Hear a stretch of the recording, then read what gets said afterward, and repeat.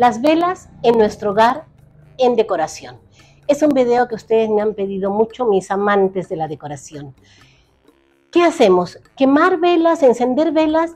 Pues les voy a decir que una vela en el espacio que tengamos es maravilloso se ve cálido, se ve acogedor. ¿Quién no ha prendido velas en Navidad? No una, sino muchas. Y los espacios se ven increíbles, realmente cálidos, íntimo y con un toque totalmente diferente porque la luz de la vela es cálida. Entonces en cualquier espacio queda bien prender velas.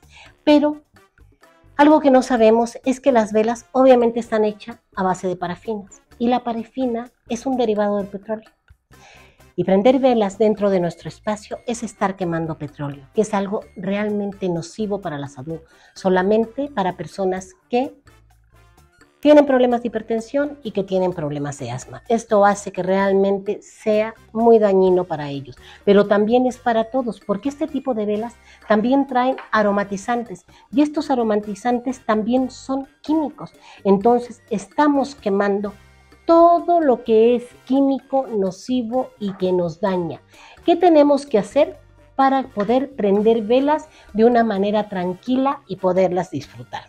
Pues tenemos que escoger velas que estén por lo menos como esta y de preferencia todavía que estén más bajas.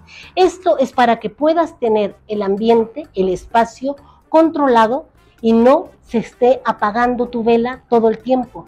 Puedes tener las velas que tú quieras, pero las, si son más bajas, obviamente no se te van a apagar con el aire ni con las corrientes que haga y no te va a estar dando la lata de prenderla cada rato. Entonces sí trata de escogerlas incluso más bajas que esto para que no te den lata. Unos tres deditos abajo y las puedes tener prendidas de una manera sana y realmente puedes disfrutar de poner velas, no una, muchas, en el espacio que tú quieras. Disfrutarlas, que se vuelva un ambiente acogedor, diferente, con un aroma también rico, pero sin que esté el espacio encerrado porque esto nos va a dañar. Si se dan cuenta, cuando estamos en un espacio muy encerrado y tenemos muchas velas, empezamos a sentir que nos falta el aire. El aire se ve denso y pesado.